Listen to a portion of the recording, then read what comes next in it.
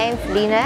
We with the Roots Group um, our specialty is uh, the butcheries and we do a lot of meat, we do a lot of chicken products, we do a lot of food stuff that's related to the butchery side.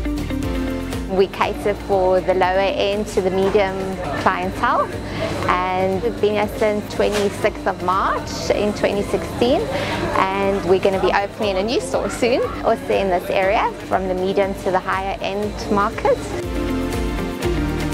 We got into the Roots brand because we're passionate about retail and we're passionate about people. We love to interact with our clientele. We like to get to know them, we talk to them so they know that they're not just a number here. We pride ourselves on giving better service, better prices, better quality and that's really what sets us apart and that's why they keep coming back.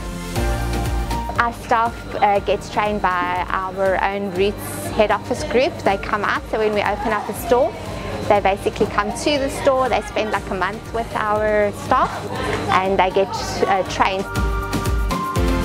The advice that I would give another franchisee is that you need to be passionate about uh, the industry. You need to be passionate about people and you need to work hard because it's a lot of work and long hours. And yeah, you got to be dedicated if you want to succeed.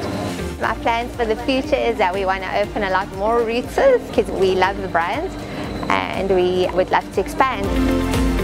Nedbank's been very good to us in the sense that they've been there all the way. They've helped us uh, whenever we needed them to be there. They've helped us set up and our business bankers are really great. They've really been very, very good. Whenever we needed them, we can call them and they're here, you know, so they're wonderful, yeah.